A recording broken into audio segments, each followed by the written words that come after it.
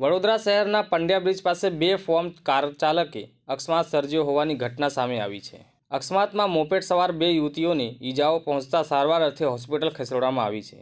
અકસ્માત બાદ car driver પર ચડી જતા ટ્રાફિક જામના દ્રશ્યો સર્જાયા હતા. મળી વિગતો અનુસાર પંડ્યા બ્રિજ પાસે પૂરપાટ ઝડપે દોડતી કારે અકસ્માત સર્જ્યો હતો.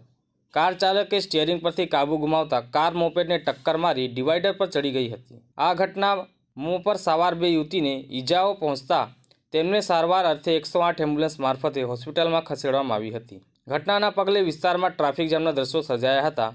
બેફામ કાર, હાંકતો ચાલક નશામાં હોવાનું ચર્ચાયું હતું. રિપોર્ટર મહેન્દ્ર સોલંકી, વડોદરા.